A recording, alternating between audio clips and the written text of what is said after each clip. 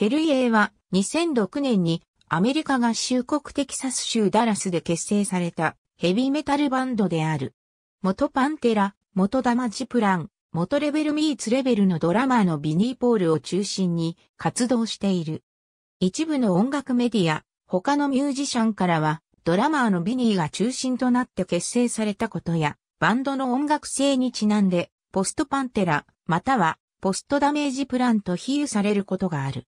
2004年12月8日に当時ダメージプランのギタリスト、ダイムバック・ダレルが、アメリカのオハイオ州、コロンバスのライブハウスで、同バンドのライブ中に拳銃を持った男に射殺されるという事件が発生する。この事件以降、ダメージプランは活動を休止する。ダイムバック・ダレルが殺害されたこととダメージプランが活動停止したことでヘビメタル界に大きな衝撃と悲しみを与え、ビニーは実定のダレルの死によって落ち込み、もう二度と彼の表だった活動が見られなくなると思われていた。しかしその2年半後、ビニーは新バンドヘルイエを結成したことを発表。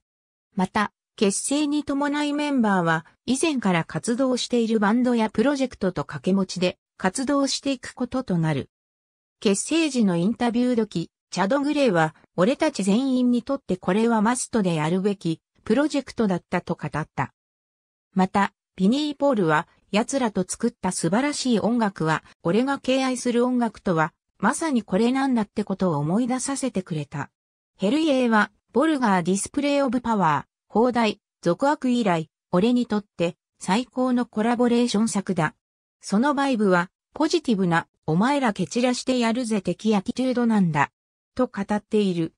2007年4月10日にセリフタイトルのファーストアルバム、ヘルジャーを発表。このアルバムは、同年度のビルボード200で9位を記録。ファーストアルバムのリリース後、ベーシストのジェリー・モンタノが脱退。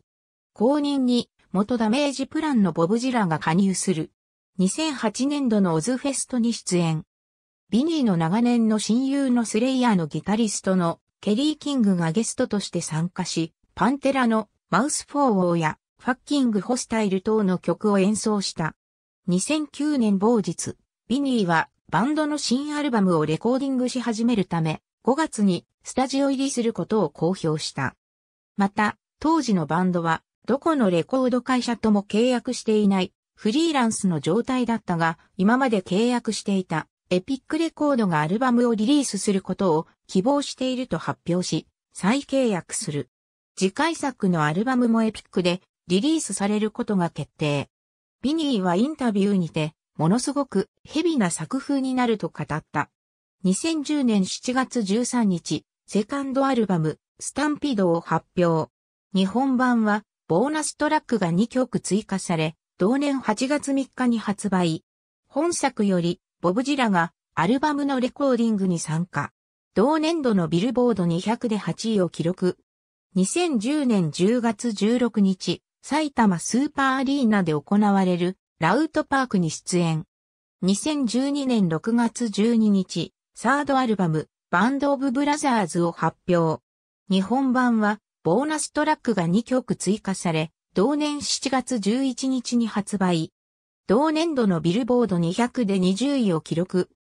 2011年に予定されていたが、東日本大震災のため中止になっていたアンスラックスとのカップリングジャパンツアーが行われた。2015年9月、3度目のジャパンツアーが行われた。ありがとうございます。